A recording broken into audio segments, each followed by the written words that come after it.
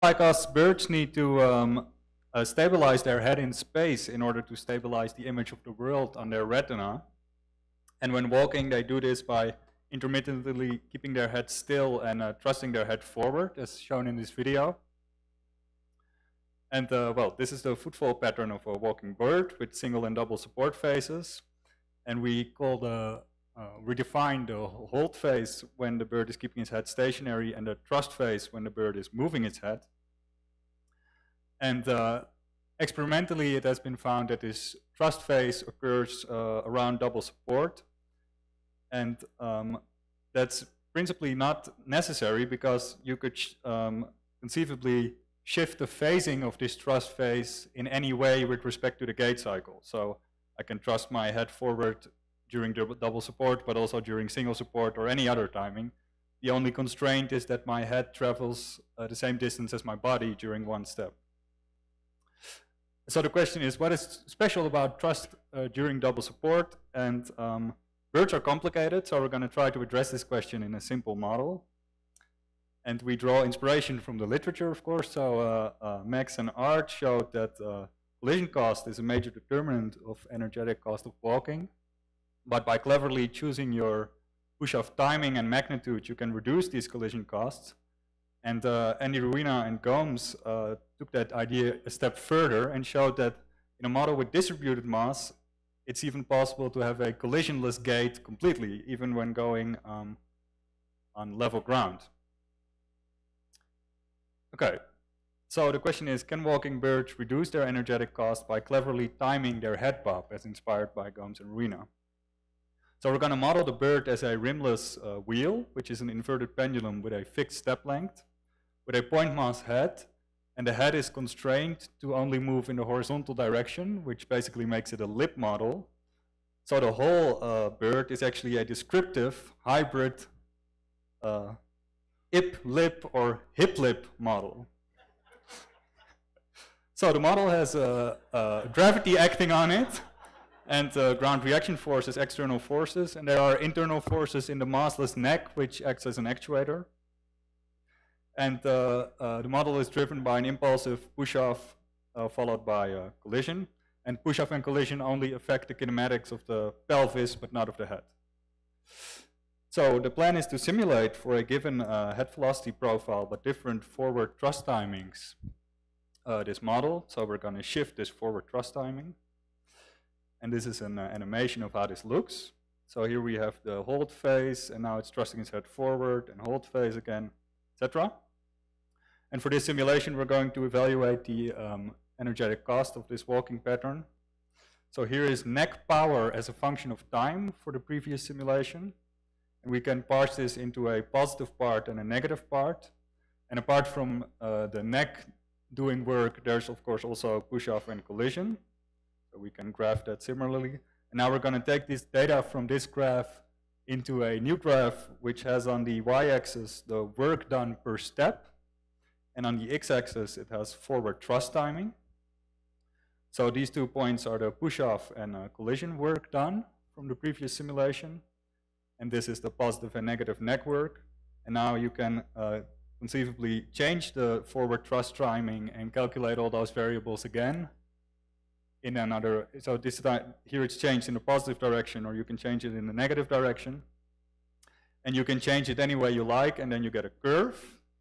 So this is forward thrust timing against work per step and then we see that there's a minimum in this curve in both the positive neck work and the push-off work at the thrust timing that is um, right before double support, or right before the step-to-step -step transition.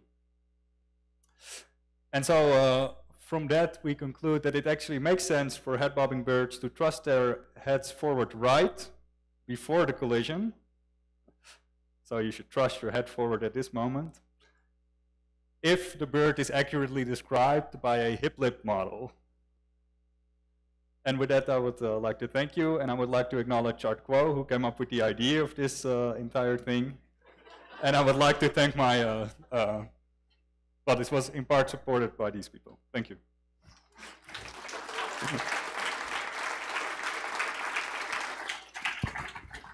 Is the last video uh, energetic? I know, but it's very hard to do it right. So I try to do it right, but that's basically. All right, Aaron. I was thinking in terms of torque, and when you have two feet on the ground, it's very easy to reject reaction force, right? So like, and when you're thrusting the head forward, you could have, have an inertial equal and opposite pitch Okay. on the body. And, I- and so, that, so that would be a good time to thrust your head forward when you kind of stabilize your body with the two feet on the ground. Okay, I, I cheated you a little bit because my graphs earlier maybe suggested that um, there isn't, but in, as this is an inverted uh, pendulum thing, there is basically a zero time double support phase. Is Can we that- see the video of the bird again? Sure. Uh, maybe this is faster. Oh, that's not.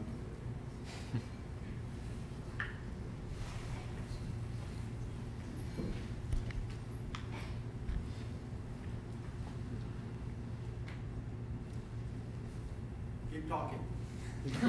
Um, and another thing is that, so I, I don't know if I parsed your question completely correctly, but one other thing that's maybe important is that the push-up and collision do not affect the kinematics of the head, but only the pelvis. I don't know if that has any bearing on your question.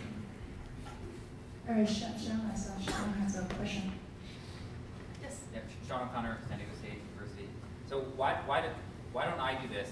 And I- is the general question, and I guess more specifically, um, what is about the bird that may, maybe better fits your model than a human or another animal? Why don't, I mean, why don't we see this as universal? Okay, so I would, I think I can answer your question, but the, the person who best can answer your question is John Mattis. Because, um, so the reason that why don't, the reason that, the reason that why, why we don't do this is because if I move my head, I can keep looking at you, and the birds do not have this uh, capability. That's the short answer. Yeah, we have vestibular ocular reflex, so we can move our eyes to stabilize the image, but birds' eyes is sort of, I mean, this is my sort of hand wavy thing. Their, their eyes are a larger percentage of their head's mass, and they don't have the, they don't seem to have the ability to move their eyes slowly. So they stabilize their gaze at the head level, and we stabilize our gaze at the eye level. Um, but I don't know Monica Daley would agree with on Yeah, so that was the other candidate for answering this question. Monica's back there.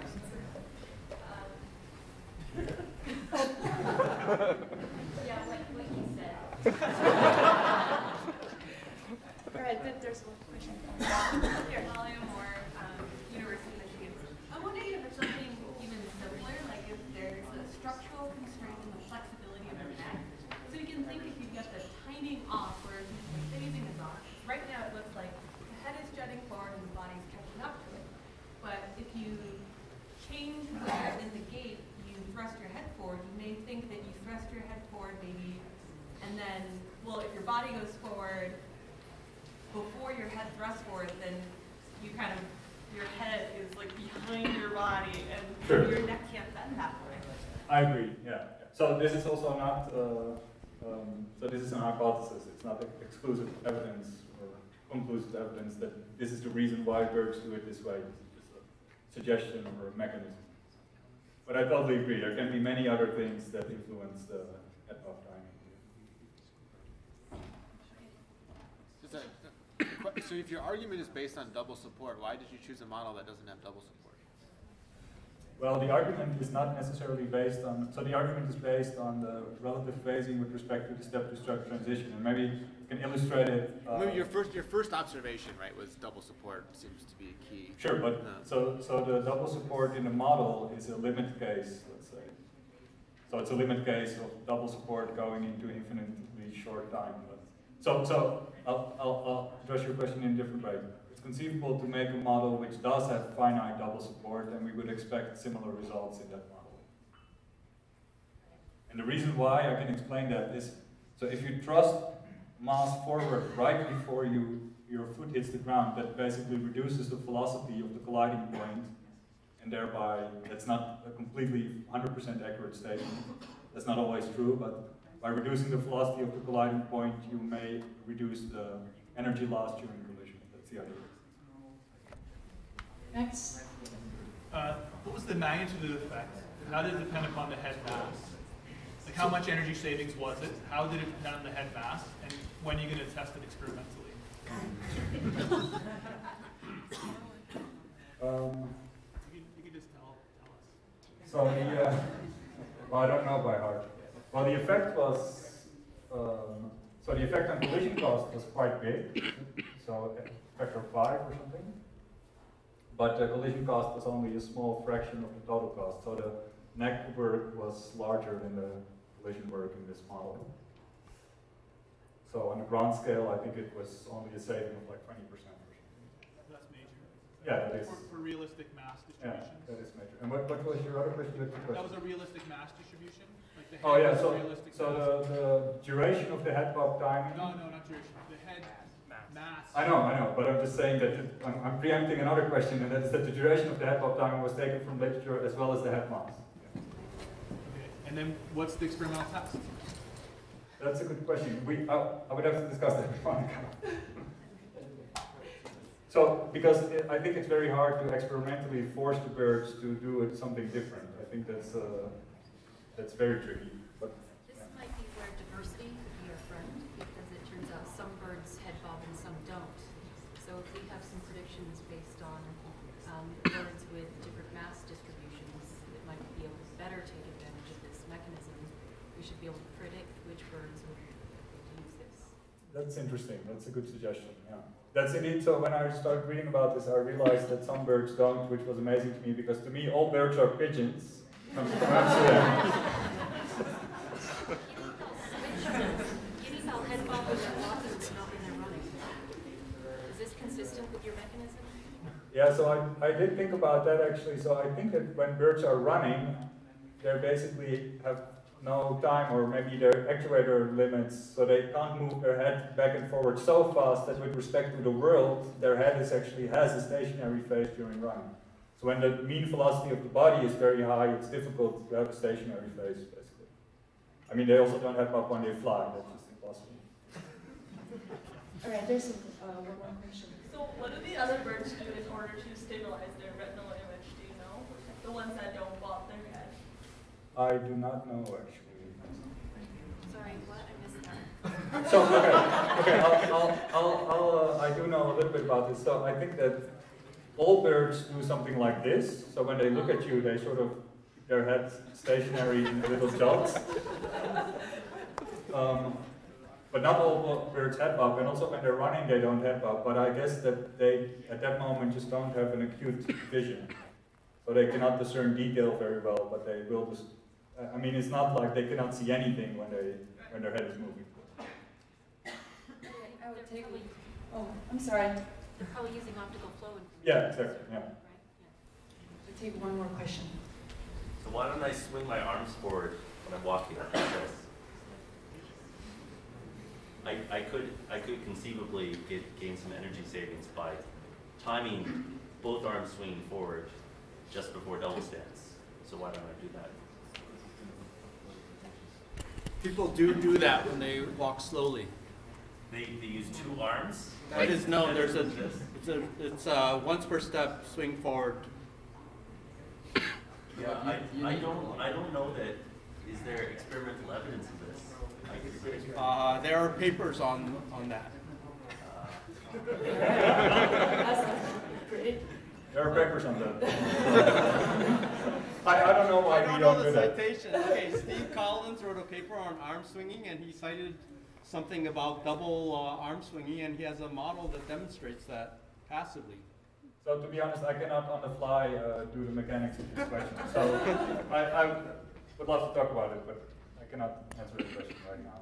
All right, so uh, let's, I can, get- I can say one thing. Which is that we saw the talk about the um, tail, model of the tail helping propulsion of the cheetah. Sure. And then there's halteres, so not for walking, but for jumping, people do swing their arms to help with jumping. So it's, it- that kind of contribution is there in humans. The question is, in steady walking, is it advantageous? And it would be a small effect, and then it, it- you would think it would be at twice the frequency of normal walking if you were gonna do it every step.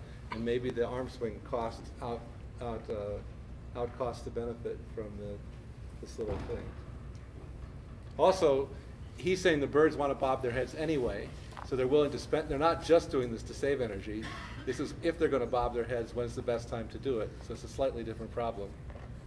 He didn't say this was more efficient than not bobbing their heads. That's a good point. I guess the right. Okay, so, finally, let's conclude then. Is that Koen? Yes.